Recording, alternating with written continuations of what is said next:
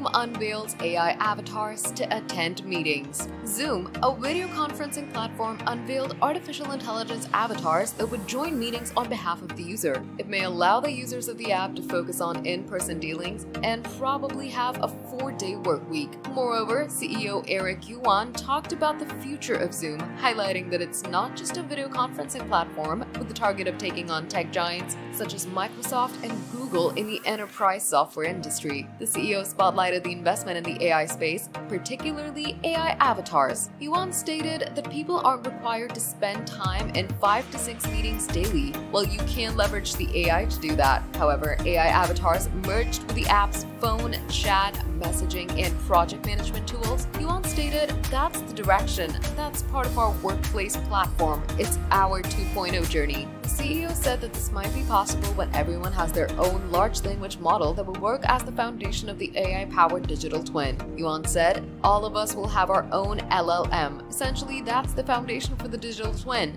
Then I can count on my digital twin. Sometimes I want to join, so I join. If I don't want to join, I can send a digital twin to join. That's the future. In addition, personal LLMs may assist the AI avatar better at particular things than the user itself by taking parameters. By giving an example of himself attending meetings, Yuan stated, For that meeting, I say, hey, tune that parameter to have better negotiation skills, send that version, and join. Discussing the technology needed to fulfill the perspective of AI avatars, Yuan said AI, along with AR, will help us get there.